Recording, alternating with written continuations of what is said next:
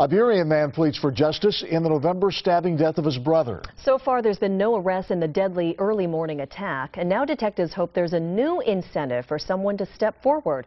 King 5's Eric Shadisky is live with the story. Eric?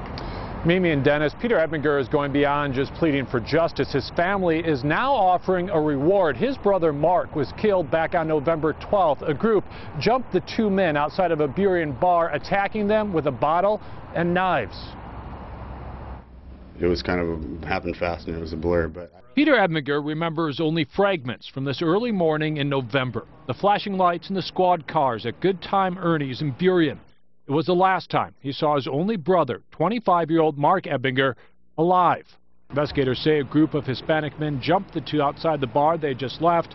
Two of the attackers used knives. We were outnumbered and they had weapons, so, I mean, we weren't trying to fight at all. We were trying to get away. The flashpoint, perhaps an argument between people in the two parties inside the bar. Peter spent days at Harborview Hospital recovering from stab wounds. EMTs performed CPR on Peter's older brother Mark. But Mark, a weightlifter and martial arts student, died in the parking lot. And no homicide case is ever closed until it's closed. This will remain open until we solve it.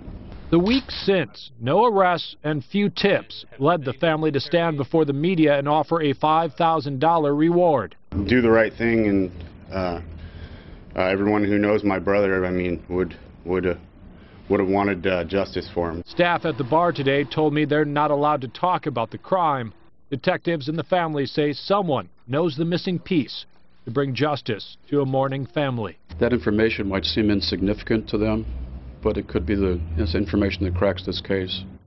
Now the family is offering 4000 of that $5,000 reward. Crime Stoppers is funding the rest. If you have any information, call the King County Crime Stoppers number. The number is there on your screen, 1-800-274-6313. Reporting live from Seattle, Eric Shadisky, King 5 News. Thanks.